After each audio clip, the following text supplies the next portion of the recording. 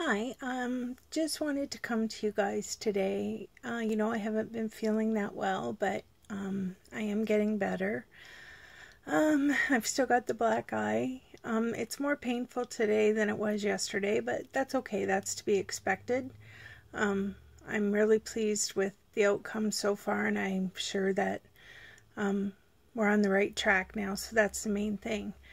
Um, so one of the things I really wanted to share with you is um, for about, I guess, almost three months, I've been saving to get something that I think is really awesome. Um, it's funny, my friend and I have been talking about this. Um, I guess I'll show you what it is first. That would make more sense. Um, ta-da! This is the Inspire large print edition. Yeah, quit laughing. um, I got it one because it's easier and because of my eye issues, but it's the large print edition and it's a journaling Bible. Um, it is NLT, and I know I should know what that stands for, but I can't think of it right now, so I can't tell you, but it's a Bible for Creative Journaling, and it's Inspire Large Print Edition, um, and it's just beautiful. Uh, the funny part of this story goes, um, I had seen quite a few videos on YouTube where people do Bible journaling and they make such a beautiful job. And I have wanted to learn more about my Bible um, for quite some time now, and I don't seem to get very far with it. Um, and I read that a journaling Bible as well as a study Bible might help. Um, so I didn't know what I thought about that. And I called my best friend and we had this major discussion about writing or drawing or anything in a Bible. And she had never heard of such a thing. And her and I both kind of came to the conclusion that we didn't think we liked that really.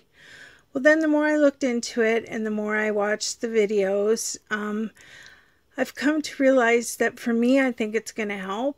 I think it'll help to teach me. Um, the the journaling videos that I have seen um, explain how when you're you read a verse and whatever it means to you, if you feel like writing something down or drawing something, then you do, and that's your personal time um, you still are reflecting on what verse you read, and it's your time to spend with God however you want to do it. Um, so, as I say, it took me about three months, but I did save for this, and oh, it is so beautiful. Like, look at the, it's just like how beautiful is that? They do have the um, regular non large print version. and um, actually, the outside of that one is the same as this box, only it's a soft. I don't think it's leather, but it's like leather, soft. Um, it's not this blue, it's the actual print, but it is smaller. And I figure right now, um, going bigger is better for my eyes. Anyway, I just want to show you a little bit about this. Like, look at how gorgeous that is. Like the detail is just beautiful. And you can either color it or not color it. Um, whatever you want. Like, and it's just, I can't believe how beautiful it is. Um, and each, I hope I say this right. Um, because I don't know my Bible, but I believe each one is called a book. I don't mean the Bi I don't mean the Bible is a book. I mean um, like Matthew, Mark, Luke, and John. Each one of those has a title page, which you can color if you want. Some of the pages have like some of this that you can color or leave. It's also got um, margins that you can make your own, um, whatever you're feeling, your own interpretation of maybe what you've read. Um, and this is all the way through the book. Like, I just can't believe how beautiful this is. Um, I want to get into it, of course, but I do want to make sure that my eyes are better. Um, like, just look. Oh, that's what I said when I was meaning the book. They all have like the start of the book, um, a banner or something. Mm, they're just so, so beautiful. And if you look on YouTube, like the pages are fairly thin, and I was worried about bleed through. Um, pencil crayons, watercolors, uh, most of that doesn't bleed through, but if you were worried about that and only wanted to make 100% sure it was to not bleed through, you can get gesso. Um, it's just a it's just gesso that you coat your page with first, and then you're 100% sure that it won't bleed through. But from what I've seen on YouTube videos, um, there's hardly any bleed through at all. Um, now, mind you, if you're using something different, like a, mm, I don't know, like a Sharpie marker or something like that, that might bleed through. But um, as I say, watercolor pencils, pastels, acrylic paint, uh, watercolor paint, it shows all of that um, that can go through. And it's just beautiful. I just love it very much. Now, mind you, I do still have my dad's Bible. And it's funny because I would never dream of ever writing or underlining or anything in his Bible. Um, not because um, not really because it's a Bible, but because it was his Bible. So it has sentimental um, value to me, and as well as it is a Bible. But this one is specifically for journaling. Um, so I think that makes a difference. Um, and if you felt uncomfortable with it, I know a lot of people, well, including myself, that's why I called my friend about it. Um, a lot of people are uncomfortable with writing in their Bible, but what I've heard done too is you can have a journaling Bible for when um, your heart is drawn to do something and you feel um, that you want to make something artistic and just keep it at home or keep it wherever you want. But if you have your church Bible that you would never dream of doing that into, well, that's fine too. You can keep that as your church Bible. I don't think there's a right and a wrong. Mind you, that being said, um, it did take me a while. I wasn't sure, and when I first heard of it, um, we had quite the discussion first here at home, and then I took it to my best friends and called her right away and said, Okay, here's what I'm thinking. What do you think?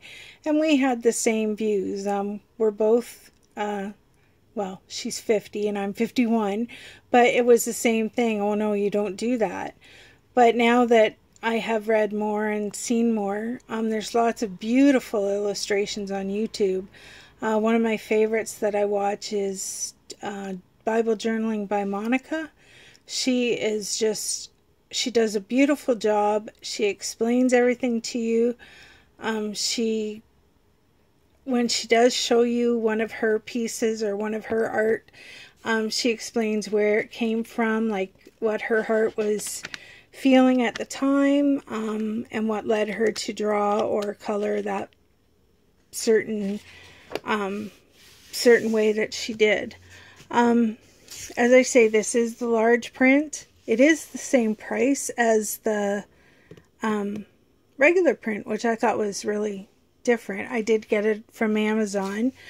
Um, I did call a, a, local Bible store here, um, and they said it, they'd have to order it in and it would cost the same. So I did do the Amazon. But to me, I think because it's a journaling Bible and it's not going to go, like I'm mostly going to have it on my desk when I'm doing stuff, I think I'm really glad that I went with the large print, not just because I can't see that great, but also the illustrations are larger. Of course, they have to be because it's a larger book, right? But I just think it's nicer. But anyway, that is my that is my cheery in the amount of yucky that I've had for a while. Um, the pain in the eyes happened, would you believe, six weeks ago, and um, I'm just now feeling better. Yesterday was better than today but that's okay. Um, as I say, that's bound to happen, and I'll just close my eyes more today. But I did want to get this um, shown because I want you to see what I'm excited about, and because I haven't posted for a while, and I do want to keep my subscribers. Also, if you're seeing this for the first time and you like it, um, please subscribe down below. The more subscribers I get, the better it is. Um, I'm at 38 now. Uh, when I get to 50, I will be doing a giveaway. Um, nothing extravagant, but a little something to say thank you. Mind you, I thank all of you for being part of my subscribers and listening to me sometimes ramble or go on and on. um, I do appreciate it, and um, this is something for y'all to think about. Um, and I'd be interested to know what you think. If you want to leave a comment and tell me how you feel about um, journaling in your Bible or journaling in a Bible, or what you feel about journal Bibles um, in a whole, like whether you think it's what you think. I know we all have our own opinions, and that's the great part about you know having having a relationship with the Lord. It's what you decide, and um, it's just a wonderful thing. So, yeah, be sure and let me know what you think. And thanks for subscribing, and God bless you all.